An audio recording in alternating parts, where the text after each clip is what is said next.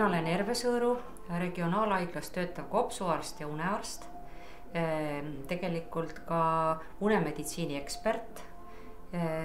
ja käesolevat siis Eesti Unemeditsiini Seltsi president. We help people with uh, sleep disorders. People can come here with uh, very different uh, disorders of sleep. It could be insomnia, it could be breathing disorders during sleep, uh, it could be restless leg or sleepwalking or sleepiness, too much sleepiness. There could be narcolepsy or some other disorders which we uh, diagnose and treat.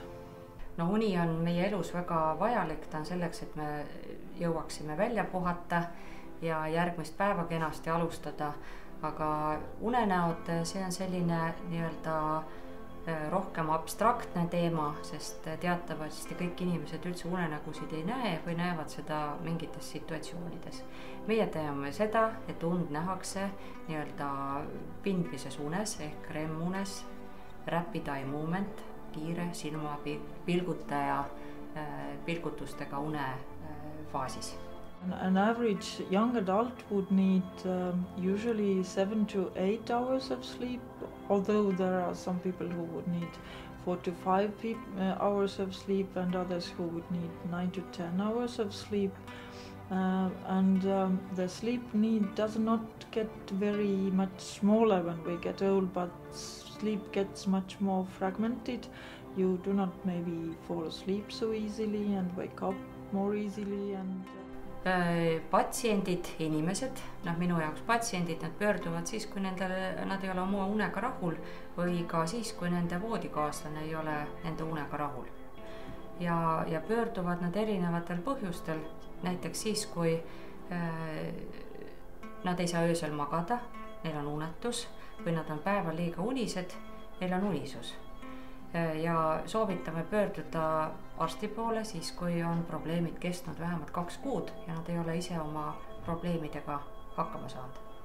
What um, what we do is uh, uh, people come in the evening and spend the night in the in the sleep lab. They have um, they have rooms for sleeping and beds for sleeping and and um, that technologists um, uh, put certain uh, little electrodes on their body and those measure certain signals and and those are counted um, and um, we get a certain uh, diagnose of a breathing disorder of a, or of a movement disorder if we count the numbers of certain changes in breathing or movement and sometimes uh, we find that sleep stages have changed changed their usual places in the in the course of sleep.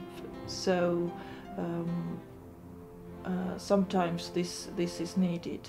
So it's very much um, down to earth, very practical thing is very different from uh, just measuring one's dreams, but it's just counting certain disorders your body might have during your sleep. me uurime näiteks seda, et äh, kuidas aju töötab, millises unefaasis inimene teatud, teatud hetkel siis on Äh, uurime äh, silmapilgutust, äh, lõualiigutusi,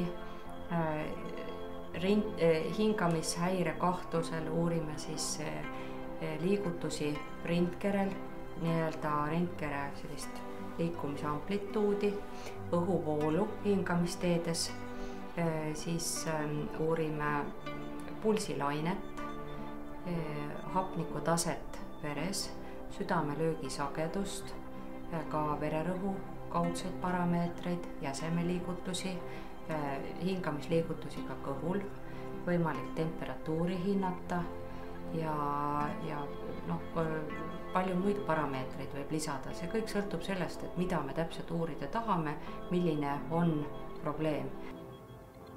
As much as I know, lucid dreaming is um, um, a state between wakefulness um, and sleep, perhaps. Um, but I haven't been investigating into into it as uh, as a physician. Uh, this usually is not a disorder people would come uh, with complaints of. Unehalvatuseks nimetatakse sellist situatsiooni, kus inimene ei suuda liigutada, ta on küll ärkvel, aga ta ei suuda jalga või kätt liigutada. ja ta, ta tunneb ennast kui halvatu ja see võib kesta siis noh, erinevalt aegadest, vahel lühiaegselt, aga, aga vahel venib see ka minutite pikkuseks.